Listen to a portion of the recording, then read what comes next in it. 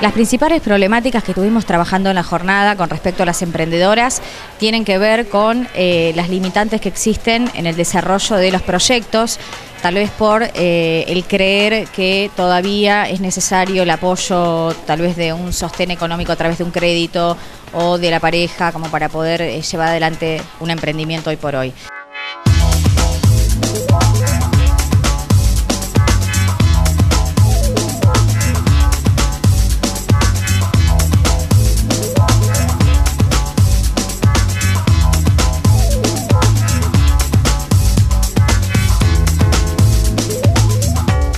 Tratamos de brindar herramientas para las mujeres emprendedoras que tienen que ver con el empoderamiento, con el autoliderazgo, con el desarrollo de proyectos desde una planificación consciente que tiene que ver con costos, que tiene que ver con el valor agregado del diseño, que tiene que ver con un estudio de mercado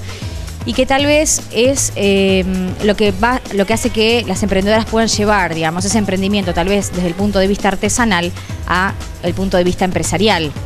Eh, creo que existe todavía una brecha importante entre el mercado informal o lo que se propone como idea de proyecto o emprendimiento a nivel más pequeño. Y bueno, es importante trabajar en las herramientas que hagan que ese emprendimiento pueda ser el día de mañana una empresa, que pueda tomar gente que sirva para poder brindar trabajo y que obviamente tenga que ver con las pasiones y las vinculaciones, digamos, que hacen que el, emprender eh, sea una forma de vida y sea una elección, no sea solamente una manera de, de sostener un hogar o, bueno, o tener una rentabilidad, ¿no? Los principales desafíos de una mujer a la hora de emprender, desde mi punto de vista, tienen que ver con el poder coordinar las diferentes actividades que están planteadas en, la vida hoy de una mujer, como por ejemplo el de ser madre, el de estudiar, el de poder proyectar un emprendimiento eh, desde una planificación eh, y poder tener el espacio para poder hacerlo, el espacio también para poder equivocarse y también eh, tener en cuenta que la mujer todavía sigue siendo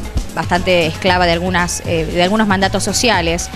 como por ejemplo el tema de, no, que, de que está tal vez a veces mal visto, de que sea sostén de hogar. o de que no cumpla los roles que supuestamente digamos la sociedad impone dentro de lo que está hoy configurado como el hogar, ¿no? Otra de las problemáticas importantes es eh, la administración y gestión del tiempo. Eh, emprender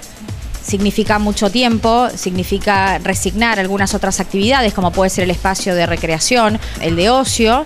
Eh, y bueno, la idea es que las mujeres emprendedoras puedan coordinar este tipo de actividades y no resignar otras, sino que puedan integrar cada una de ellas para poder, digamos, llevar adelante el proyecto. Algunas de las prácticas que son interesantes llevar a cabo para poder emprender desde un lugar que tenga que ver con la salud estaría planteado desde una planificación consciente del tiempo, el poder buscar vinculación y sostén en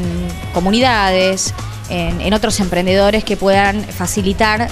a los que recién comienzan una idea o visión de cómo llevar a cabo ese proyecto eh, a lo largo de la vida, eh, cómo combinarlo, digamos, con las situaciones cotidianas. Otra de las cuestiones importantes a tener en cuenta es el tema de poder vincularse con otros, también más allá de lo económico y lo vincular desde una alianza estratégica, sino también desde lo humano. Siempre es importante tener en cuenta al otro como un aporte, como alguien que me puede dar otra mirada diferente, puede, digamos, ayudar, digamos, en, lo que me está faltando, ¿no? También es fundamental siempre contar eh, con espacios de capacitación. Dentro de las universidades y los espacios formales en donde la mayoría de los emprendedores